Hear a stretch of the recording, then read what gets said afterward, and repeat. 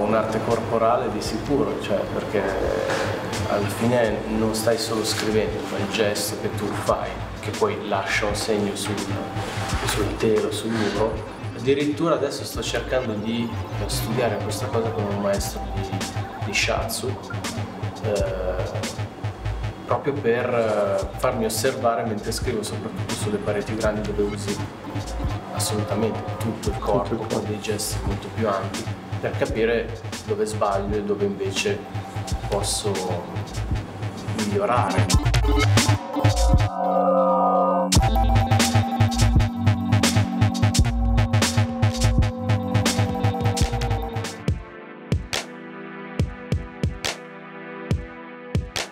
Non è tutta una questione di tempo, è una questione di competenze, di professionalità. In Italia in generale far valere la professionalità è difficile perché eh, trovano sempre qualcosa di più economico e non pensano alla qualità.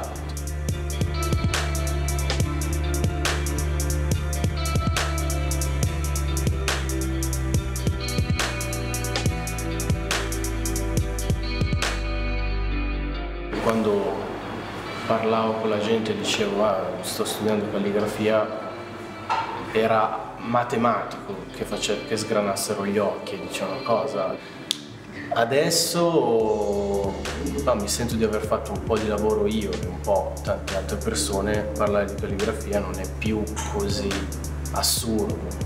La scrittura è una cosa che ha una storia infinita. Eh. Molto spesso vengo chiamato artista ma io mi sono sempre sentito un po' di più un artigiano.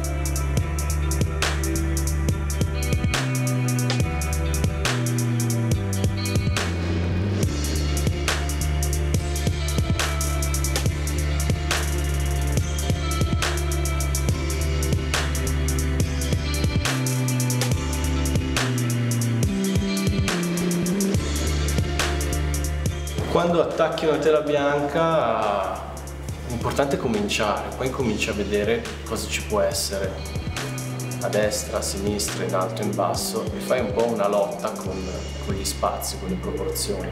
La gente magari che è lì a vederti pensa che tu sia una specie di computer che va in automatico, in realtà stai sudando freddo perché non sai come andrà a finire, e, però è una bella sfida.